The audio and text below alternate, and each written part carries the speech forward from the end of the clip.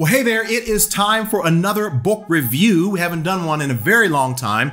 And in this video, we're going to do an overview of the book of Jonah, one of my favorite books in the entire Bible. But as always, we're going to look at some very key, important life lessons that we can learn from Jonah. That's coming up today on The Beat. Hey, my friend, welcome back to The Beat. My name is Allen Parr. Thank you so much for tuning in. If this is your first time here, it's a pleasure. If you want a free ebook, click the link in the description box below. If you enjoy this video, consider subscribing. Hit that little bell notification so you won't miss a beat. Okay, so we're going to break the book of Jonah down into a four act play. But before we do that, we need to figure out who is Jonah. Now, Jonah is one of the Old Testament minor prophets. We call him a minor prophet, not because he was less important than uh, the major prophets such as Isaiah or Jeremiah, but rather that his book was shorter. It's only four chapters, and therefore he is called one of the minor prophets. Now, Jonah was a man who was called by God to deliver a message of grace to a wicked and foreign nation called Assyria. So just imagine if it's a day after 9 11 and two planes have just crashed into the buildings in New York City, and God knocks on your door and says, Hey, I want you to go share the gospel with those people so that they can be saved. Or let me make it a little bit more personal. Let's say that your ex cheats on you and leaves you with nothing except raising the kids, and God comes to you and says, Hey, I want you to share your faith with him so that he can become a believer. Jonah did not want to do this. This was an assignment that he absolutely did not want to do, but there are some major lessons I think we can learn and we're going to dig into those right now. But real quick, what is your number one favorite lesson that you can think of as you have read through the book of Jonah? Leave it in the comment section below. Okay, act number one Jonah runs away from God. Notice what it says here. It says, But Jonah ran away from the Lord and headed for Tarshish. Now, if you know anything about Old Testament geography, you'll understand that Nineveh, which is where God was calling Jonah to go, was on one side of the world. And Jonah said, Okay, I'm going to go down to this boat and I'm going to pay the fare so I can go in the opposite direction. Now, here is the first lesson we can learn from the first act. And that is the fact that anytime we run away from God, we will always end up in a worse situation than we were at the beginning. Many of you right now watching this video, you know that God has put it on your heart to do something. You know that God has put it on your heart to leave this relationship or to stay in a relationship or to leave your job or whatever it is. But in our minds somewhere, we think we've convinced ourselves that there's something else that's better than what God wants us to do. But the enemy wants you to think that, but God wants you to know that if you continue to run away from Him, you are always going to end up in a worse situation than you would had you have stayed where you were or just simply obeyed what God was calling you to do. The second lesson is that oftentimes when we rebel against God, it leads to innocent people being hurt. Notice what it says here in verse 4. It says, Then the Lord sent a great wind on the sea, and such a violent storm arose that the ship threatened to break up. All the sailors were afraid, and each cried out to his own God, and they threw the cargo into the sea to lighten the ship. We need to understand that whenever we sin and run away and rebel against God, we're not doing it in a vacuum. We're not doing it without there being collateral damage oftentimes our poor decisions to go in another direction than what God intended often ends up uh, with other people who have nothing to do with our situation being hurt, whether it's our children, whether it's our church family, or whoever. It often leads to innocent people experiencing pain. But the third lesson is super important, and that is this the longer we rebel against God, the more difficult it becomes for us to continue in that rebellion. Notice what it says here in verse 11 the sea was getting rougher and rougher. Notice Notice later on in the text in verse 13, it says, Instead, the men did their best to row back to land, but they could not, for the sea grew even wilder than before. Isn't it amazing that God loves you and I so much that whenever we rebel against Him and go in the opposite direction, He doesn't just let us go and feel good about it. He's going to continue to pursue us. He's going to continue to do certain things and allow certain things to happen in our lives to get our attention so that we realize that we are going in the wrong direction. It's up to us to pay attention to those warning signs and go in a different direction. I want you to notice something here very subtle, and that's the fact that Jonah knew all along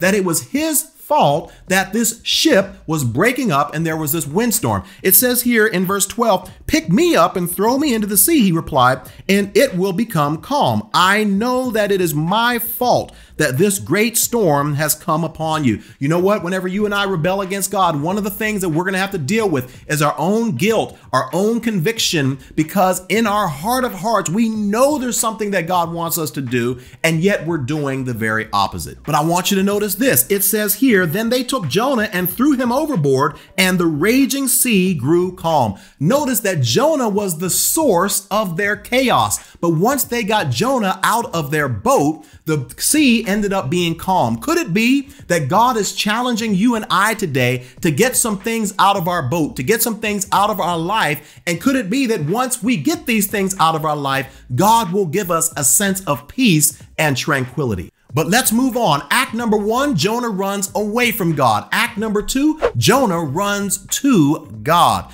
The first lesson that we learn here is the fact that even in our disobedience, God will often provide for our needs. Notice it says here, now the Lord provided a huge fish to swallow Jonah, and Jonah was in the belly of the fish three days and three nights. This is a testament of how much God loves you and I. The fact that even though we are going in an opposite direction, God says, I'm not going to just abandon you. I'm still going to provide because I love you. Now, the second lesson is a huge one, and that is this. We have to be careful that we do not just seek God whenever we're in trouble. Notice what it says here. It says here, from inside the fish, Jonah prayed to the Lord his God. He said, In my distress, I called to the Lord and he answered me. You know, this describes many of our relationship with God. We treat him like the proverbial spare tire. We don't think about God until we need him, right? We're not interested in a relationship with God, but rather we're interested more in the rewards that come along with that relationship.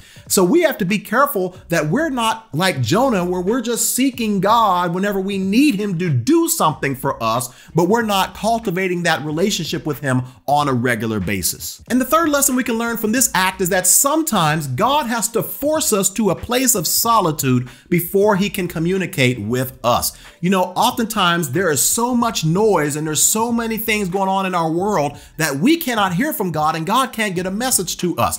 But oftentimes, God puts us in places of solitude. God took Jonah and put him in the belly of the whale for three days and three nights just so that he could have some communion with Jonah. So in your life, you may be wondering, God, why am I so alone? Why is it that there's nobody around me? It could very well be that God wants to use this season of your life. And my friend, it is a season for him to develop that type of communication with you. Okay, act number one, Jonah runs away from God. Act number two, Jonah runs to God. Act number three, Jonah runs for God. And the first lesson that we can learn here is this God can often use us to accomplish great things in spite of our own personal disobedience. Notice what it says here in chapter 3. It says here, Jonah obeyed the word of the Lord and went to Nineveh. Now, Nineveh was a very large city. It took three days to go through it. Jonah began by going a day's journey into the city, proclaiming, 40 more days and Nineveh will be overthrown. The Ninevites believed God. Isn't it encouraging to know that we don't have to be perfect in order for God to get the most out of our lives? We don't have to live this perfect life in order for God to use us to do some wonderful, amazing things for the kingdom. Here we see a man that was in complete rebellion against God, and yet God said, I'm not going to give up on you. I'm still going to pursue you. I still have a wonderful plan for your life, and I'm going to continue to pursue you until I carry that plan out. That, my friend, is nothing but the grace of God. The second lesson we can learn from this act is that there is no one that is outside of the grace of God.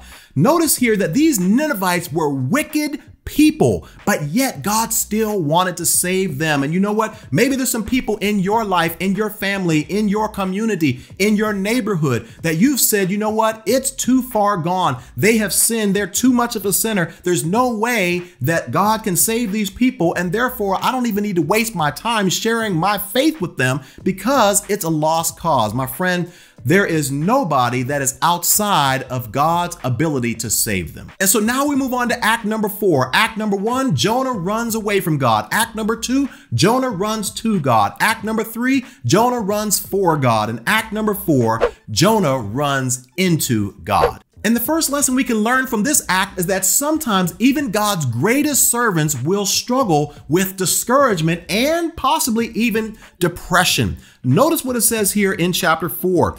Jonah says, Now, Lord, take away my life, for it is better for me to die than to live. And if you've ever had that feeling before where you're struggling with uh, thoughts of suicide or depression or discouragement, let me just be a source of encouragement for you today to remind you that you are not all by yourself. Jonah and Job and Jeremiah and all sorts of other people, Hannah and also Naomi, to name a few, were people that struggled with discouragement and depression in the Old Testament. So do not let the enemy do a uh, work on your mind to convince you that you are in your situation all by yourself and nobody else understands what you're going through. The second lesson we can learn here is that we need to learn how to praise God just the same when God takes something away as we do when God provides something. Now, I'm not going to read all the scriptures here, but essentially what happens is this Jonah is sitting outside the city, and there's basically there's sun that's just beating down on his head, and he's frustrated about that. And so basically, God says, I'm going to provide for you once again, and in the form of a tree. So God allows a tree to grow up very quickly, and that tree provides shade for him so that the sun doesn't beat down on his head. And for a whole day, Jonah was happy about this. But after a day, God provided a worm, and that worm ate that tree up. And now that tree was no longer able to provide that shade for Jonah. And the Bible says uh, Jonah was angry about that, and he even started thinking about taking his life. And you know what? That oftentimes is how you and I are. We, we, we, we praise God whenever the good things happen in our lives, but whenever there's any sort of struggle or any sort of uh, uh, uh, issues in our life that come up, we are quick to to run away from God or curse God or turn away from the faith or whatever. We have to remember that you know what, even if there is some difficulty that comes in our lives, we still need to praise God because he is good. And then the last lesson I think we can learn from just this entire book is that God's eternal plan of advancing his kingdom is much greater than our own personal happiness, comfort, or convenience. You know, sometimes we get this idea, and I think it's from the prosperity theology, which is the idea that God wants us to always be healthy and wealthy and everything is going to go well in our lives, which once again is not consistent with scripture. Listen, if things can go well in our lives, that is great, but that's not God's ultimate priority. God does not prioritize you and I, our happiness rather, over his plan. His plan is sovereign over all. And if that means we have to deal with difficulties along the way so that his plan can be fulfilled, then my friend, that is exactly what's going to have to happen. So I would love to hear from you. What do you think is the greatest lesson that we can learn from the book of Jonah? Leave it in the comment section below so you can not only bless me, but bless other people that will be watching this video. If you found this video helpful in any way, feel free to share it with a friend. Also, if you haven't done so already, I would love it if you would subscribe.